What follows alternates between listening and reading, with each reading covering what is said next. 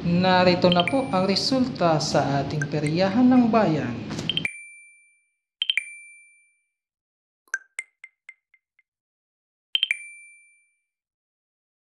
At huwag nyo naman pong kalimutang subscribe ang aking channel. Sana all.